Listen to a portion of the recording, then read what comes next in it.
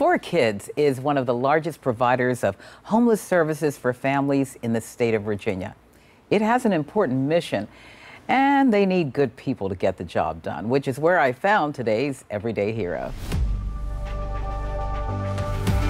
You have to be careful. You have to really check the dates. They call her Miss Mary. She is what the folks here at the ForKids organization call a super volunteer. Mac and cheese is a staple. There is always a chore to do at this busy nonprofit, and I'm told Miss Mary does not miss an opportunity to lend a helping hand. I really enjoy volunteering. Oh, good applesauce. Now, she will tell you the reason that she's put in over a thousand hours is simple.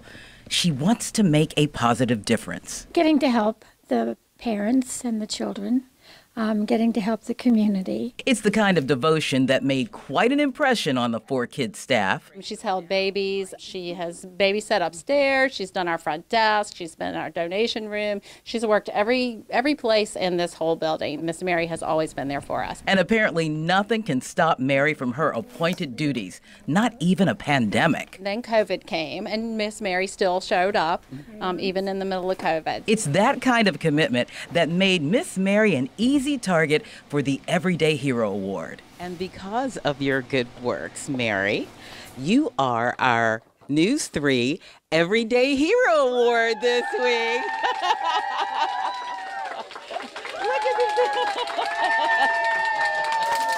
And in addition to that, our partners at Southern Bank would like to give you a $300 gift card. Oh, wow. Well, that'll buy a lot of school supplies. Thank you so much, everybody. You got her good. Oh, didn't we? Yeah. We really did. She's got, just got such a lovely, kind spirit. You know, I mean, she is an unpaid position, right? But she'll call in if she's running a few minutes late, like, you need me, I know you need me there. And as expected, Miss Mary hinted that her Southern Bank Visa gift card would go to the school supply campaign to lend an extra hand. So passionate about what she does. She really is. Nice to see people like that. Yeah. I think we can put a smile on her face. Uh, yeah, a smile And on all of us. A surprise smile on Yeah, her face. exactly. Now, if you know someone in the community who is doing the right thing when no one is looking, just go to WTKR.com and nominate your everyday hero.